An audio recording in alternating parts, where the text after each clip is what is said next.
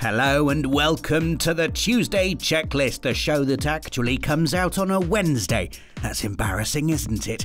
But not nearly as embarrassing as the cringe inducing gaming moments we've been reliving this week for your viewing pleasure.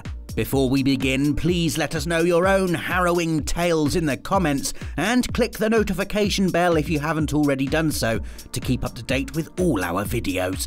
First up in the hot seat of humiliation, it's Ash. So a really embarrassing gaming moment for me comes back, harking back to the days of Guitar Hero 2. Now, I love Guitar Hero and I loved Guitar Hero very, very much when I was younger and I loved playing it. I loved going through all the different songs, as you do. I'm just describing playing Guitar Hero. But uh, like having like competitions with your friends to see who can do the best song, who can do it the best, uh, going up to expert and playing through the fire and the flames and seeing how long you could handle it. Um, like I just loved Guitar Hero. I thought it was great. Guitar Hero 2 was especially great going through the career list and getting to the end and seeing how like good you could be at guitar. And I always played on medium because I that's it. It's not easy. It's better than easy, but you get the blue button involved. Yeah, maybe sometimes I go into hard, but like I always played on medium. Um, and uh, I was very proud of my Guitar Hero playing. Like Guitar Hero 2 especially, I was very proud of, of how I could work a guitar. Um, because I thought in my head I was like fully a rock star. Like I was mm. fully like Ash Millman, rock star. Um, We're gonna take this up to medium difficulty. exactly. Raise the guitar.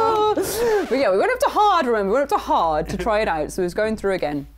Uh, and uh, yeah, I, I, fully thought I was like, I was a cool dude uh, playing Guitar Hero and that I was great at it. And every time we had like competitions with my friends, I was always the winner because I, uh, am uh, not competitive in any way, but uh, a Guitar Hero was a winner. So there we go. Um, yes, obviously I was very competitive and practiced all the time and must beat my friends. Um, so it got to the point where you get to the end, and the last encore song of Guitar Hero 2 is uh, Lynyrd Skynyrd's Freebird. It's like a nine minute song, and it starts really slow, so you can do all of the buttons and uh, do them really like, you know, slow and do your hammer ons and your pull offs. Guitar words that I learned from being a rock star. Um, so you could do all of that, and uh, it goes and it goes quite like mm, crazy in the middle, like it goes all frantic, and you have to keep up with it and get all of the different bars together. Uh, and I, I could do this on medium this, this, is embarrassing. I could do some medium with the guitar behind my head because yes, that was something I used to do when I was a, a dorky little kid alone in my loft with the uh, with the Guitar Hero on, and we'd see what cool way we could do it. I was too old for this. Um, and it got to, my parents also loved playing this with me and competing with me, with me on it because they liked guitar and rock and all that sort of thing. So um, it got to one point where they had their friends over and uh, Tales of Ash's Guitar Hero prowess came out because it was all I ever did, so that's all I had to talk about to their friends Ash, about. Ash can play Freebird on medium. Medium? Yeah. On medium. No! But I'd gone through my campaign on hard this time. Remember, ah, seeded. So, seeded. I'd got through the campaign already. hard. this is so, it's embarrassing. Uh, it actually is embarrassing because I was upstairs playing Guitar Hero, like a performance for, the, for like my mom and dad's friends that they'd brought up to be like, here's our daughter who plays Guitar Hero. not like not like someone who can play an instrument, but uh, someone who can play Guitar My buttocks Hero. are already clenching in embarrassment. like I could feel. and um, yeah, so I was ready with my guitar, with my um, rock move sensibility. rock, rock. And um, you know when you get things wrong on Guitar Hero and it starts going, uh, and the crowd stop booing you. So that's also an important part of this story because uh, they came up for my uh, Ashes, um, you know, orchestral rock performance. I was ready to perform. Oh, my face hurts. Ready to perform. Um, Lynyrd Skynyrd's Freebird, you know, requested, requested by my parents, and uh, put it up, loaded up on hard, because you know we're going to take it up a notch. We've gone through medium. Let's turn this this mother up to 11, babies. Um, that's the PG version. uh, and. Uh, started playing through it. And I did the slow bit really well because obviously it's your hammer-ons, your pull-offs, you can do that at the beginning, really nice, just long. You can use the whammy bar. I was exempling how the whammy bar works. Like, on my guitar for these friends. And um, it got to the middle bit and I was feeling very confident. And and very overcocky, and you know, just me, just me as a person, gloating, reveling in my winnings, and uh, you know, went to do the whole guitar behind the head Oh, movement no. and was fully like trying to do it, and uh, just I, it, it was hard. It wasn't medium, it was hard. It was difficult, and every single note I was playing was coming out wrong, and I could feel like the wave of shame washing over me. And my parents' friends obviously weren't impressed because they were my parents' friends. I was their child that they'd gone, look, it's Ash playing guitar, and, uh, and uh, they were like what's that um, clinking sound I can hear? Like the because I was missing all the buttons. And I was like, nothing. And put the guitar back around and then totally lost my cool like with it, like trying to get all of the back into my rhythm, back into my flow of being a rock star. I remember shrinking from being this standing person with a guitar behind my head like a freak, and then sat sunk down into the sofa with this guitar, like trying to play it very small and missing every note and being like I'd be like, this doesn't normally happen. This doesn't normally happen. But yeah, I think back on it because I remember feeling so embarrassed in that moment of not performing Lynyrd Skynyrd's Freebird correctly, but actually, in actuality, just the whole scenario itself is so cringy and embarrassing that it even happened at all. Like, God bless my parents being like, my daughter can play guitar, hero. Like, and, presenting it as like, here, here you go. But oh, just, just it's so it's so cringy it's so awful. But it is quite funny now at least to think about it as me being an awful only child. Like you can tell i'm an only child from this nonsense Do your like, parents still speak to those people? uh, no. And they never came round again. yeah no they haven't seen me since so it's all good in my book. But yeah that, that was definitely the most embarrassing uh, the most embarrassing one I'm going to start off my entry by telling you that uh, as I've been growing up, I have been seen as being um, quite unaware of things. Like, you know, if someone makes an, an innuendous joke, for example, it goes completely over my head. I don't know what anything means. And then, of course, if I was there just being like, what, what's that mean? What are you talking about? Then my friends would be like, don't tell her. Like, you know, I, I was always the one who never understood what anything really was and what anything meant. Um, and uh, apparently that can still apply because my embarrassing moment happened on the channel. It happened uh, around, I think it was last November, and it was when Yakuza Like a Dragon came out, which was a very, very exciting time. I remember it well. I was ridiculously excited. I love this game. It's become one of my favorites of like if not the favorite game of mine of all time and I was so excited. I had a whole stream planned. I was like I'm going to show them this. We're going to do this. I'm going to do this. I've played the game for around like 10 or 20 hours at that point. So I was like, you know, I wasn't at the beginning phase. It's like, you know, my characters had some armor equipped and some weapons equipped. And uh Knowing look. Weapon. weapons, Some weapons. weapons. And uh, Yakuza has, um, like, you know, it's got some really silly moments and things like that, and some really like, um, like innuendous kind of jokes and stuff Like, like, innuendous as a Innuendous. word. So. I was like, you know, I didn't want to show that my characters had like, you know, the beginning weapons because this was my genuine save file, and I went into a shop. in That like would have been dragon. embarrassing, wouldn't it? If you'd have shown starting weapons.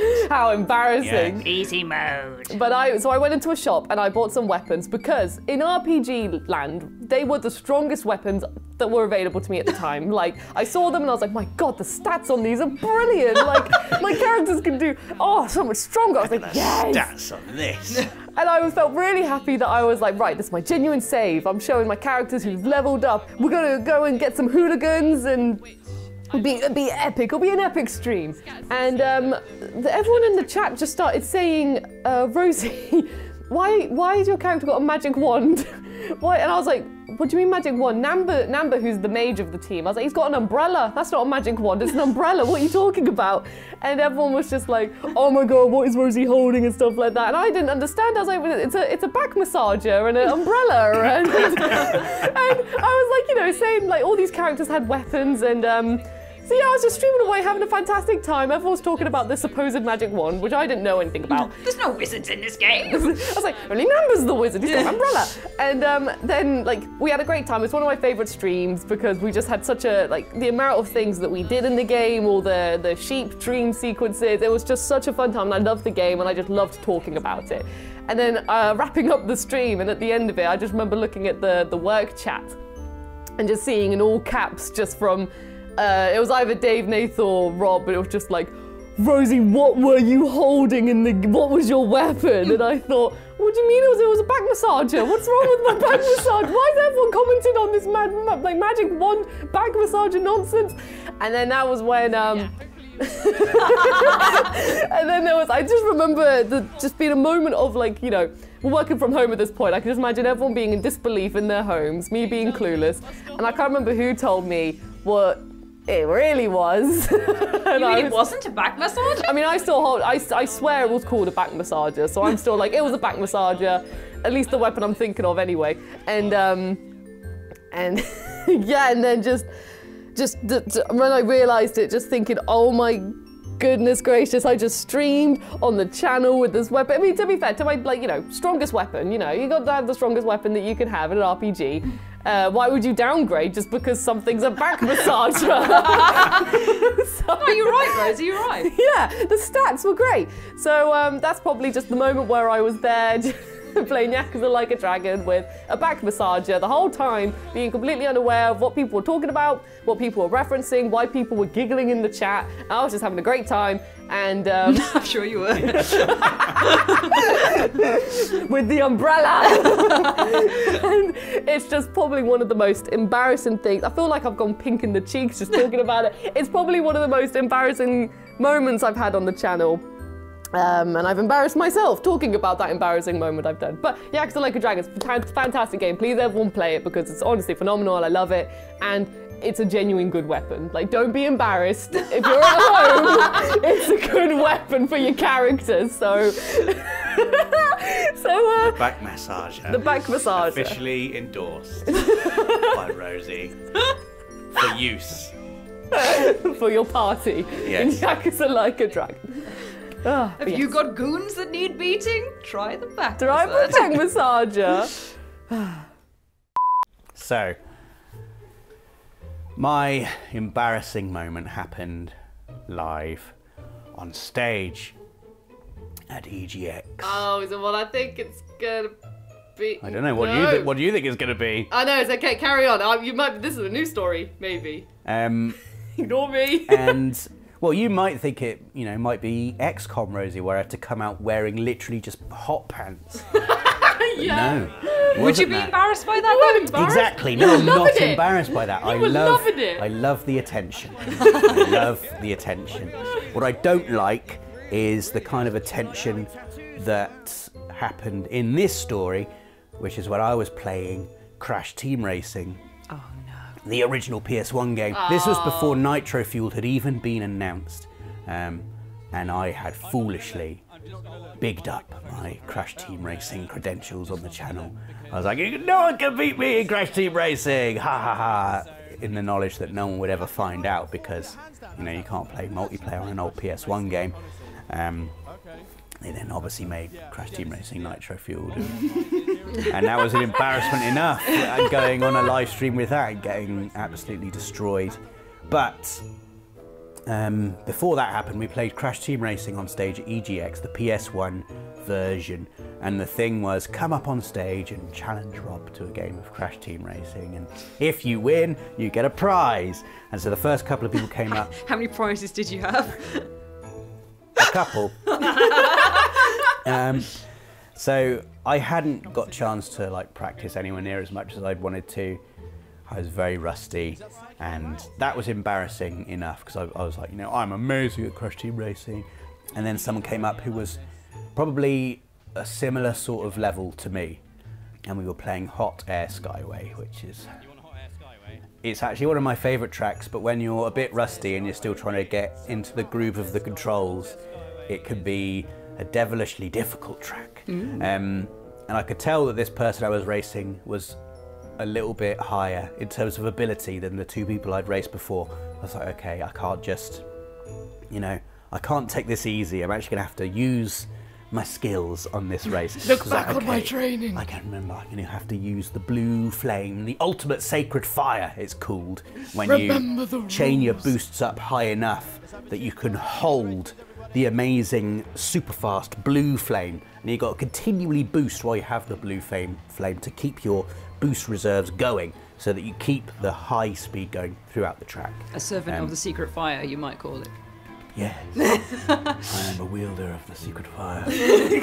wielder of the flame of Anor. Um, imagine Gandalf on the bridge saying his secret sacred fire line and just falling off the bridge of Khazad-dûm. That's essentially what happened to me on Hot Air Skyway. I had my sacred fire. I was like, yes, let's go. And I tried to hold it, and the track is very swirly, and there are no barriers on the side, and you just fall off. And I fell off maybe three or four times.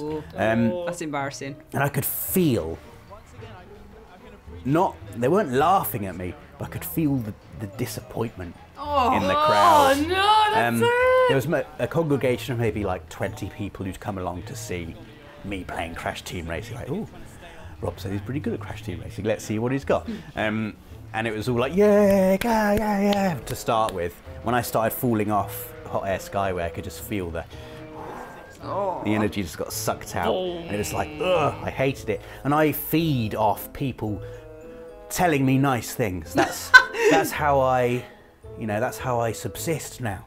I spend my weekends looking through YouTube comment sections for comments telling me that I'm really funny and clever. and Oh, you're set. You're so setting this up for the comments I- on this. and that's how I, you know, that's how I like.